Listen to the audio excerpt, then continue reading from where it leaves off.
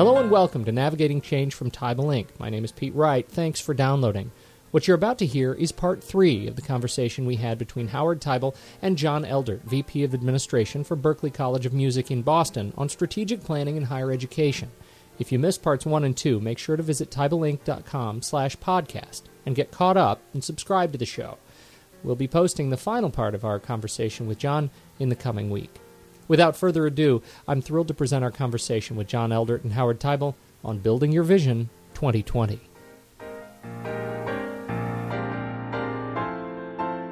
Well, the thought is that we're in the same business pretty much the same way. So we have a common data framework, a common management framework.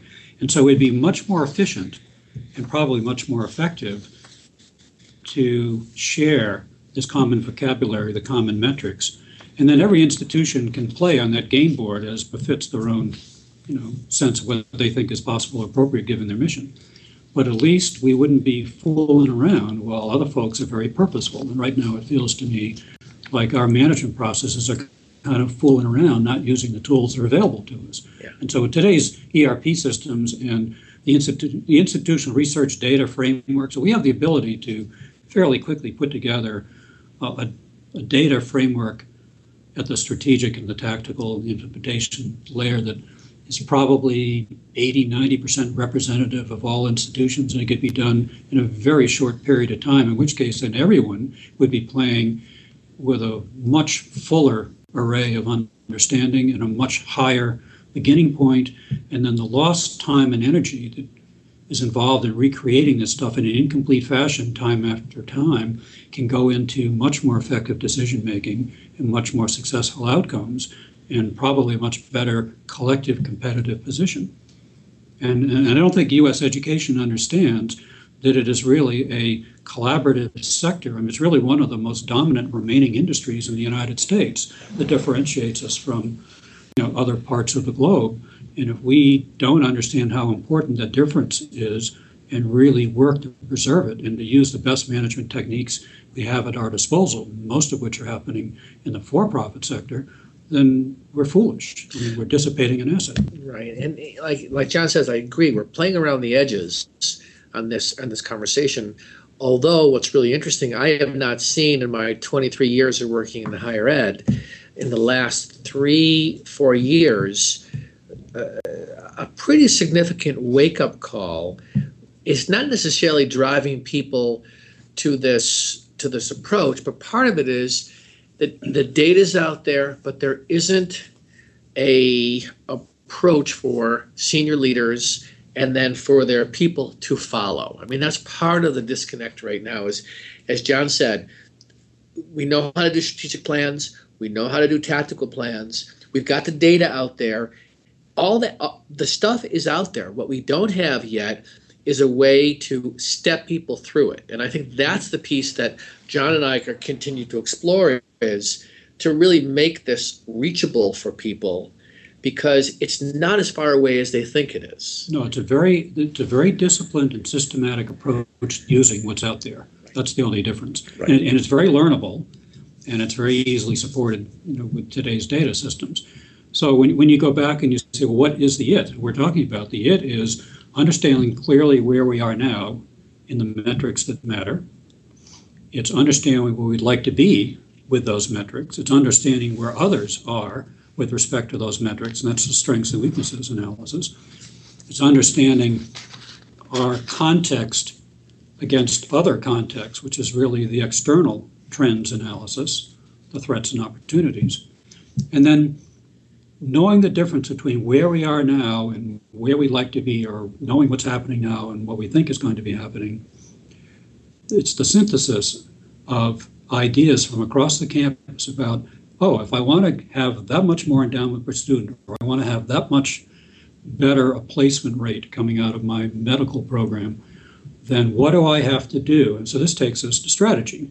And so, what is strategy? And I, and I defy you to go find a nice, tidy description out there in the medical, I mean, out there in the uh, management literature. But what I think it is, as a practitioner, is nothing more than a coordinated set of activities, things we do that we think is going to take us from today's state to that desired future goal.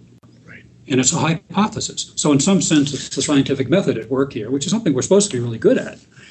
It's it's a guess. I think we do these things, then we'll make progress toward our goal. And then you get into now you hit the, the dividing line with tactics, which is okay. I'm going to do 25 more admissions team visits in the Midwest with a focus on woodwinds in Berklee's case, or a focus on uh, nano students interested in nanotechnology in MIT's case.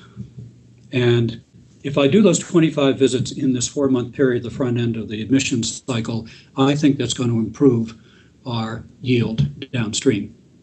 So the objectives are the 25 visits in the Midwest with a focus on these specialties. Yes. That's what an objective is. The goal is a different composition of a student class or a different right. level of preparedness. So goals and objectives are not the same thing. They're That's separated right. Right. by the hypothesis strategy. See, and what's so interesting in, in continuing to listen and, and work with John is to to see the value of the use of the language, whether whether it's right or wrong, but if we use the language in a consistent way, we have a much greater likelihood that we're going to be able to design milestones that make sense because we're all saying the same thing. I mean, that is the basis of the breakdown is that people are going into these conversations and it sounds good. And I've even been at the, mean, I read some of the stuff that I write and I say, you know what? it's not as precise as it should be. Or I'm being inconsistent. I use it one way in one capacity, another way another. And then you multiply this times a group of 10 people, it, it gets blown out of the water. Well, what, what we miss in that, why any of this matters, I think, Howard, is that it's this hypothesis at the heart of it. If we aren't clear about what we're actually talking about, then we've lost the ability to look at what actually happened and go backwards through a logical chain of let us examine our assumptions. So those 25 visits actually didn't do a damn thing yeah. to our yield.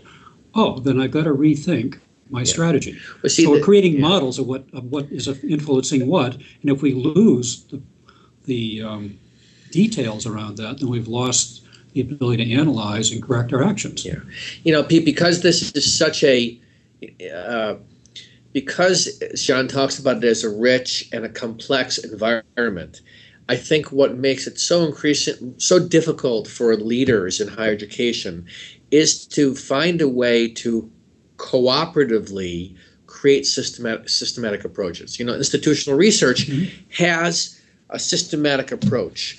And you can see them making a lot of progress in uncovering and gathering data. But when you see people start a process, I mean, what, what I'm seeing is uh, leaders don't want to start this process because they don't know where to start. And what as I've discussed with you, John, what you've done is you've started this process by saying, let's look at facilities, and and let's work this process in a holistic way through the whole facilities model, and get that working. To use that as a way of showing success in one area and then we'll show a success in another area. Because I think the listener here is going, this is all great, but I don't know where to start. That that was exactly my question. I'm sitting. If you could see me, I'm sitting here with the heel of my my hand against my forehead. That, the because I, I I get it. As a matter of fact, I I get it. I I, I feel like uh, there are a few things you said earlier, John, about uh, just really translating the strategies and tactics uh, you know, the definition of those words really makes sense to me. But then I go all the way back up to the top of our discussion uh, about why it's so difficult translating monoline thinking to multi-line enterprises in, in higher ed. And that's where I think, how do you go to work every day? I mean, aren't you pulling your hair out just trying to figure out how do you bring so many disparate lines of, of the organization into concert? Well, fortunately for all of us, there are a lot of really good people in this business. So if you were to get a bunch of enrollment management folks together, they would compile in the course of a working session probably an 80 or 90 percent congruent, similar depiction of what their enrollment strategy is, whatever the beginning point and desired endpoint is for student student attributes. And it would consist of publications and web presence and visits and alumni uh, intervention in the local markets. So there's a great consistency implicitly in how a lot of the stuff is being done. It just isn't very well written down anywhere in, again, a common language. Similarly, you can talk to educators about educational outcomes. And there's been a great deal of foundation work on depicting the desired outcomes from the math curriculum or the uh, physics curriculum or, or, English curriculum. And so there's a lot of a lot of um, very very precise desired outcomes that are rubrics in a curricular sense. That's out there too, although it isn't shared. I mean, but it, the foundations share it, but the individual colleges are pretty opaque as to where they are relative to it. There's a great deal in the financial world of structure embedded in the financial statements around components of resources, whether it's the investment in plant or the investment in systems or the um, structure of, you know, of receivables and payables and all that kind of stuff. And, and so, again, it wouldn't take a lot of effort to construct a shared view of all that stuff. And in fact, when you look at a lot of the work that FASB and GASB have done in the last several years in trying to align financial reporting, and now also align financial reporting in the US to financial reporting in other parts of the globe, they come up with frameworks that are much tighter than there were 15 or 20 years ago, with more things required to be included. But also, they've referred to something called intermediate measures of operations, which is terrific. They left it up the industry to self define it, except nobody really knows what the hell that means. Mm-hmm. And so we have an opportunity to tell them what it means in our terms. And so, again, everyone knows what they do really well, but they have no practice in communicating about it with each other to a great degree. That's right. And that's where, you know, I'll tell you, but that's why it's not so hopeless. You know? I agree. And I, and I think the piece that, as I listen to John, that, that I think does need to happen more is this sense of we're in this together. And although we may compete in some capacities, in, in, in another way, we have so much to learn from each other. I can't tell you the number of projects I get involved in.